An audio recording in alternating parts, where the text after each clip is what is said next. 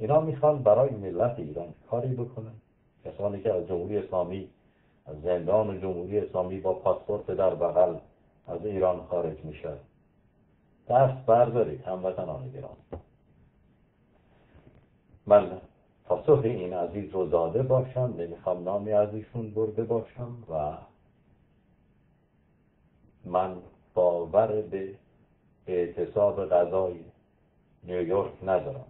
من باور به پشتیبانی جهان از ملت ایران ندارم.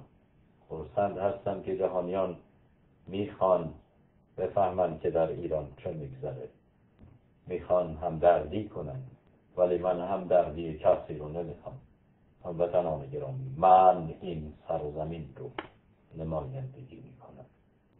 من دلاوری این سرزمین رو و تاریخی ملت ایران رو نمایندگی می‌کنم. و الله کلاه داروش بزرگ رو دارم نمیذاشتم و اینجا تو این گرما این گونه نمی نشستم در مقابل دوربین بدون همراه. هموطنان گرامی من همراهی بیگانه رو نمی‌خوام. من سپاه امپراتور روم رو نمی‌خوام. من همدردی کسی رو نمی‌خوام. جز همدردی و دلاوری ملت ایران. با اینکه خسرو پرویز سپاه از بیگانه گرفت ولی رنجش رو خودش کرد. من این تاریخ رو نمایندگی می کنم که سربلندی ملت ایران نمایندگی کنم. باور به حسید بودن ملت ایران رو ندارم هموطنان گرامی. من اعتصاب به غذا رو باور ندارم.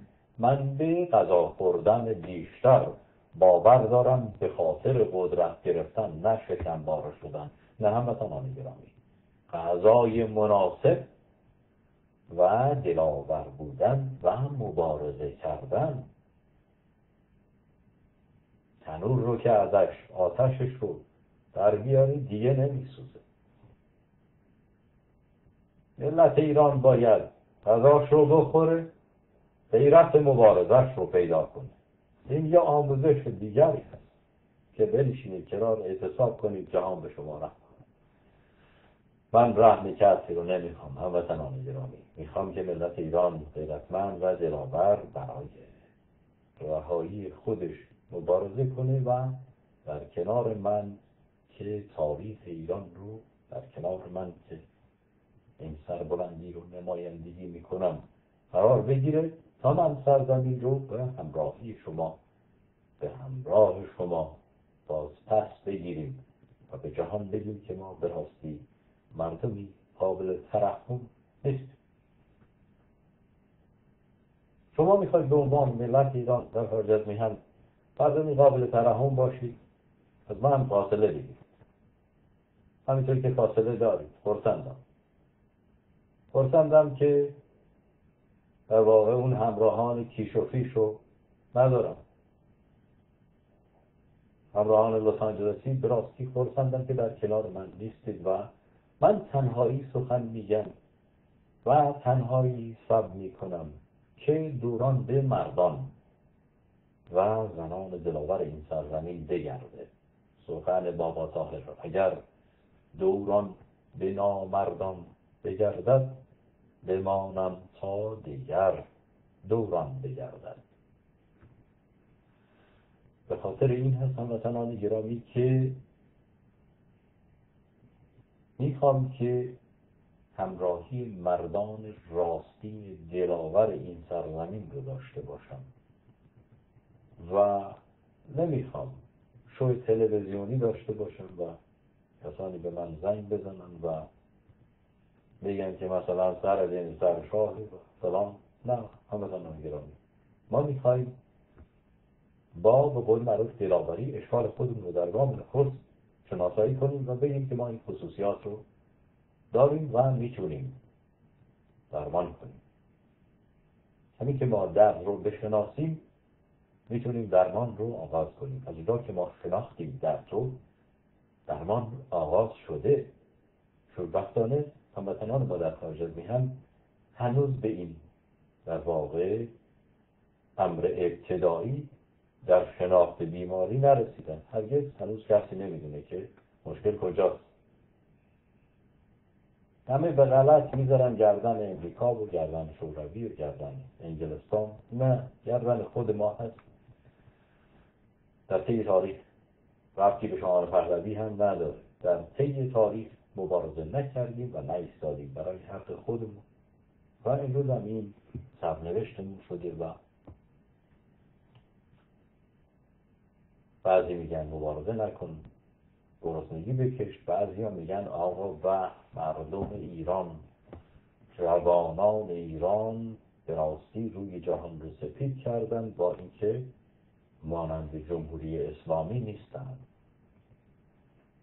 خب این مانند جمهوری اسلامی یعنی چی؟ این یکی از گویندگان نابکار و براستی نجس رادیو تلویزیون های لس که من هرگز حاضر نیستم نام این شخص رو به دهان بیارم. و باشه تا آزادی ایران. تا اونجایی که این سرزمین گفتم اگر آزاد کرد خودش رو ما دشمنانش رو بهش معرفی و به راستی داغ ننگ تاریخی بر پیشانی اینها خواهیم زد که جوانان ایران بدون جمهوری اسلامی نیستن جمهوری اسلامی می‌کشه اینا میان تو خیابون میگن آقا فلان آزادی. نه ما می‌خواهیم با چه میگن کشتکار بیان تو خیابون بیان تو خیابون و در مقابل جمهوری اسلامی که با توپ و تانک در مقابل ما ایستاده مبارزه کنیم. نشون بدیم که در واقع متفاوت هستیم با جمهوری اسلامی. این کارگزار جمهوری اسلامی. این شخص گوینده در تلویزیون پاس براستی کارگزار جمهوری اسلامی. کارگزار بیگانه هست. هم جیره مواجبش رو از جمهوری اسلامی می‌گیره هم از دیگر به قول کارافکران جهانی و الا ملت ایران رو پسید در مقابل جمهوری اسلامی تشویق نمی کرد که بیسته و سربلند نمی بود به اینکه ملت ایران بیان بیرون و کشته بشن و به خاک و خون کشیده بشن که مانند جمهوری اسلامی نباشند من می‌خوام مانند جمهوری اسلامی و صد برابر سختتر و سرسختتر از جمهوری اسلامی در مقابل ملت ایران هستم به تمامی من به کسانی که بدون سلاح و بدون پشتیبانی و بدون امنیت خودشون رو جان خودشون رو به خطر میندازن به راستی من با تعجب نگاه می‌کنم. هرگز افتخاری به چنین کسانی نمی‌تونم داشته باشم. زیرا که در گام نخست اندیشه با مشکل روبرو هست هموطنان گرام اگر کشور ایران یک کشور دموکراتیک بود من قبول داشتم که ما بیایم و تظاهرات کنیم برای خواسته های خودمون. بگیم که بله ما بخوایم تظاهرات مسالمت آمیز بکنیم که به نتایجی برسیم زیرا که خب می‌تونیم آراء خودمون رو به حکومت با تجمع نشون بدیم مگه برای جمهوری اسلامی که در واقع عامل بیگانه هست و خود بیگانه هست در سرزمین ایران آرای ملت ایران تفاوتی داره؟ چه رأیی چه تظاهراتی؟ جمهوری اسلامی می‌خواد گردن ملت ایران رو بشکنه. براش مهم نیست که در واقع چند تا رأی داره. مگر یادتون نیست که خمینی اومد؟ توی تلویزیون رو اگر همه ملت ایران بگن آره.